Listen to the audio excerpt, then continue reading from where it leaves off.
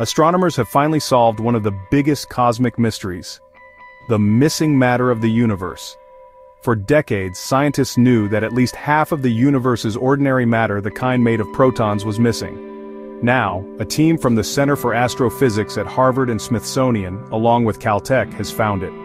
Over three-fourths of that missing matter is floating as hot, diffuse gas between galaxies in what's called the intergalactic medium. They published the discovery in Nature using a surprising tool fast radio bursts, or FRBs, these cosmic flashlights are powerful, ultra-brief signals from distant galaxies. As they travel through space they slow slightly when passing through gas. By measuring that delay, scientists can weigh the invisible gas. They analyzed 60 FRBs some from nearby galaxies like M81, others from over 9 billion light-years away. The most distant signal ever recorded helped confirm exactly how much matter lies between galaxies. And just like that, the missing baryon problem was solved. Three-fourths of ordinary matter is in this cosmic fog.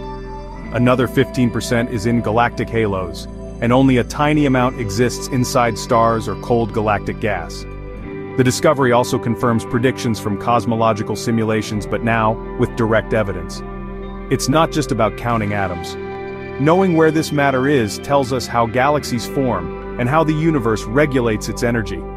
New telescopes like DSA 2000 and CHORD will soon detect thousands more FRBs, helping us map the cosmos like never before. We're entering a new era of astronomy one burst at a time. Subscribe for more science news only here on AtlesPro.